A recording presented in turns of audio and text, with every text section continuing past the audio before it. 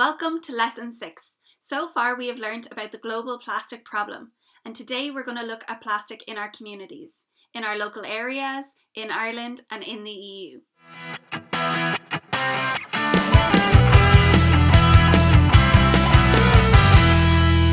I have travelled to many schools all around Ireland, very big city schools and very tiny rural schools. And on all my journeys I see plastic pollution. I see it in the ditches, at the side of the roads, I see it in the fields, I've even seen it in trees. It's hard to find anywhere that's not affected by our plastic pollution. Today, we're going to talk about how we can make changes to this through our own actions and through engaging with decision makers. Sometimes I can't wait for rules to change or laws to be enforced. There's rubbish on the ground, I can see it, and I need to do something about it. So I do a mini litter pick. Today I'm going to give you some tips on how you can do your own litter pick. For your litter pick you will need gloves and bags. I'm using gardening gloves but you could use washing up gloves or other gloves. Just make sure they are reusable. For bags, I am reusing a bag that came as packaging for my waste and I am using a washable bag to collect my recycling. I went out and about in my local area to do a quick litter pick. I would encourage you to invite some friends or family and have an adult with you when you go out and about in your local area. Lots of the rubbish I find is recyclable. If you're sure it's recyclable, pop it into your recycling bin when you get home. Everything else you can put into your rubbish bag.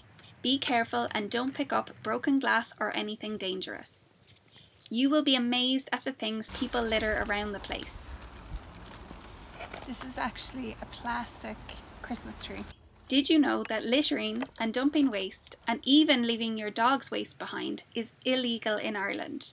You can report any large amounts of rubbish you find to your local authority or call the 24 hour National Environmental Complaints Line on 1850 As citizens of Ireland, we can all play our part to deal with plastic pollution. When I get home, I can put the rubbish into the waste bin and the recycling into the recycling bin.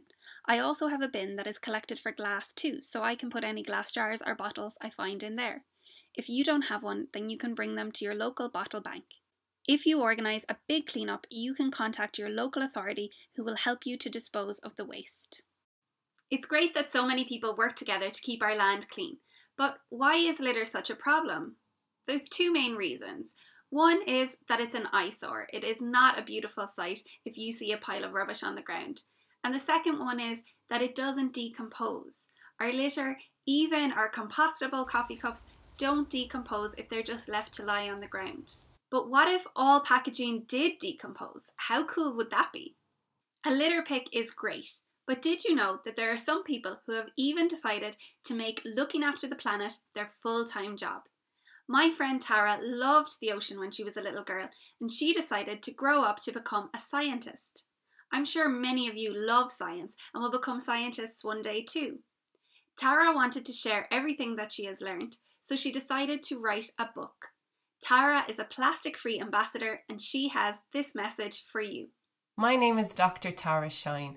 I'm an environmental scientist. I love being a scientist. You get to ask questions about how things work and why things are the way they are. Environmental scientists are really interested in how our planet works and how the animals and plants living on that planet, including us human beings, have an impact on the world around us. So I'm interested in things like climate change and plastic pollution and biodiversity lots of the things you're going to be learning about in Plastic Free for Kids. And one of the things I'm really passionate about is the fact that each of us can play a part in being an ambassador and a leader on climate change and plastic pollution. I think that's so important, I even wrote a book about it. This is my book, How to Save Your Planet One Object at a Time, and I wrote it because I want individual people, you, me, boys, girls, mums, and dads right around the world, to know that there are things they can do to help save our beautiful planet. Every single person's actions matter. Nothing you do is too small. So I'd love you to take that as your mantra as you become a plastic free ambassador. Everything you do matters. Soap. We use soap many times a day to wash our hands after the bathroom and before meals. We also use soap in the bath or shower to keep our bodies clean. Soap washes off the dirt and kills any germs we may have picked up on our hands. It also can feel and smell really nice. In recent years, it has become more common to see liquid soap in plastic bottles. This bottle can be recycled in Ireland, although we often forget to recycle the plastic bottles from our bathrooms. But remember, it needs to be clean, dry, and loose in your recycling bin. Up until recently, we have used bars of soap. These are a better option for the planet. Try to buy soap that is in a cardboard box or is wrapped in paper or something recyclable. Or better yet, you can buy soap that has no packaging at all, straight from the craftspeople who make it at farmers markets and craft fairs. Aside from using less plastic, you'll also use less energy with bar soap. Liquid soap has a lot of water in it, so when transporting it around, it uses more energy. You will also save money as bar soap often costs less and lasts much longer.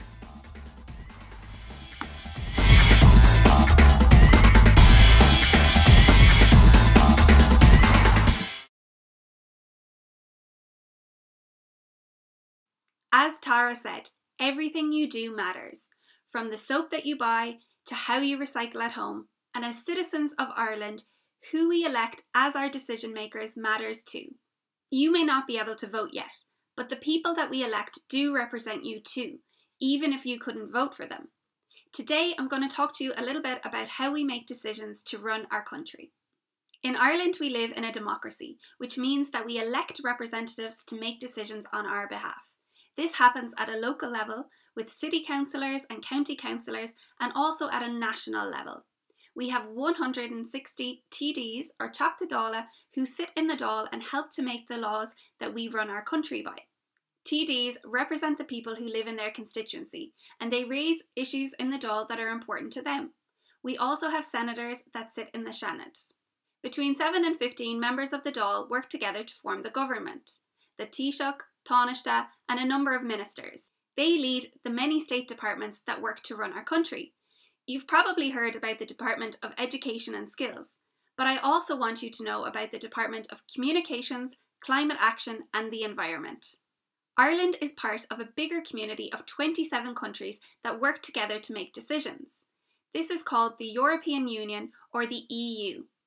Ireland has representatives called Members of the European Parliament, or MEPs, who work to represent Ireland when the EU are making decisions together. Irish citizens are also EU citizens, and of course, we are all citizens of planet Earth. Internationally, governments work together as part of the United Nations, or the UN, to create a safe and healthy planet for everyone. This is why we worked together to create the Sustainable Development Goals. Being a citizen means that we have rights. We have rights in Ireland, we have rights in the EU, and globally we have the Universal Declaration of Human Rights. We also have special rights for every child. And all our decision makers take these into account when making laws to run our countries and our communities. But with our rights come our responsibilities. You can't have one without the other. And for those of us who are safe, free, and healthy, we need to act in support of those who aren't. We want to make the planet a safe, free, and healthy place for all our citizens, and that means we need to look after it. We have no planet B. Now, while we do live on this planet, sometimes humans think that we own this planet and can do with it whatever we like. But actually, there's many, many, many other species who've been living on this planet, many of which were here long before we were, like penguins. We need to remember that when humans make decisions, it doesn't just affect us. It affects the plants and the animals, the birds and the trees and the tiny insects and the mycelium running throughout all the soil and all the water molecules in the rivers and the rain and the oceans. We have a responsibility to make good decisions for all species. But we're humans and humans make mistakes. We don't always get it right first time, but we're learning, and the more we learn, the better decisions we make for everyone. How does our government look after our environment? In Ireland, the government works with the Environmental Protection Agency, or the EPA, to make sure that the laws are followed to look after our environment. We also have many other organisations who support them in their work. We are always updating our laws around waste. Did you know that in Ireland we want to eliminate the need for landfill? We want to move away from a linear economy and move toward a circular economy where all our waste is put back into use. In the last lesson, we looked a lot at recycling, and today I want to focus a little bit more on reuse. Did you know that nature doesn't create waste? Nature reuses everything. If blossoms or plants decay and die, they rot back into the soil to nourish the living things around it. Composting is a way that humans can work with nature to turn our food waste back into soil again. In my house, we have a caddy in the kitchen that collects our food scraps. We then take that and empty it into our compost bin or our compost heap that's in the garden. Then we leave it to the bugs and bacteria. They work to break down our food scraps and to turn it into soil. Then we put that soil back into our garden to grow more vegetables. Circular economy at its best.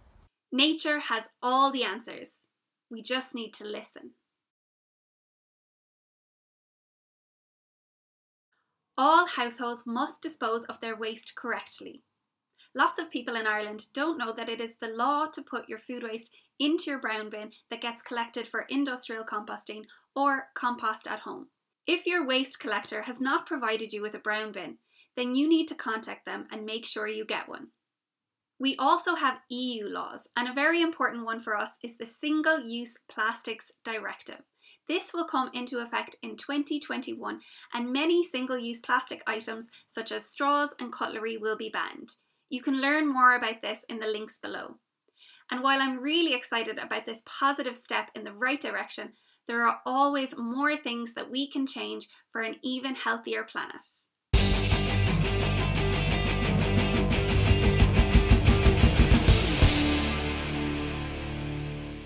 First ambassador action step today is to plan your simple swap. So talk to whoever buys for the house and ask them instead of buying soap in a plastic bottle to change to buying soap in a bar. It's really easy, they're next to each other in the supermarket, it's just about making that different choice. For your upcycle challenge today, I am challenging you to find a reuse for our plastic soap dispensers. So can you think of a creative or fun use for them? Can you think of something else they can be used for? Or can you create it into something else? We would love to see what you make, so please share with us using the hashtags PF4Kids or Plastic Free Ambassador. Today I want you to engage decision makers. So these might be your elected local councillors, they might be TDs elected to the Dáil, they might be um, MEPs who work at a European level. So I want you to introduce yourself, explain to them that you are becoming a plastic free ambassador, remind them that they are representing you and ask them to support more sustainable policies for our country, for our continent and for the planet.